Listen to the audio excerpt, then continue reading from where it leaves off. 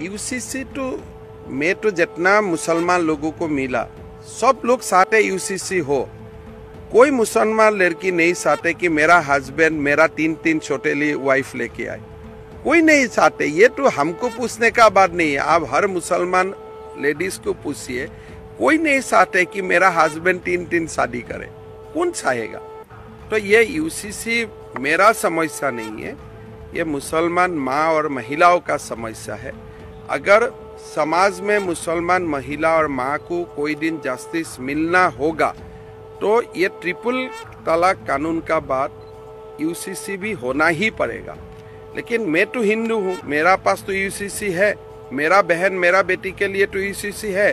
अगर मेरा बेटी के लिए यूसीसी का कब्ज है तो वो कब्ज मुसलमान का बेटी को भी होना चाहिए। यूसीसी तो मैं तो जितना मुसलमान लोगों को मिला सब लोग चाहते यूसीसी हो। कोई मुसलमान लड़की नहीं चाहते कि मेरा हस्बैंड मेरा तीन तीन छोटे लिए वाइफ लेके आए। कोई नहीं चाहते ये तो हमको पूछने का बात नहीं है। आप हर मुसलमान लेडीज़ को पूछिए। कोई नहीं चाहते कि मेरा हस्बैंड तीन तीन शादी करे। कौन चाहेगा? तो ये यूसीसी मेरा समस्या नहीं है। ये मुसलमान माँ और महिलाओं का समस्या है। अगर समाज में मुसलमान महिला और माँ को कोई दिन जस्टिस मिलना होगा तो ये ट्रिपल तलाक कानून का बात यूसीसी भी होना ही पड़ेगा।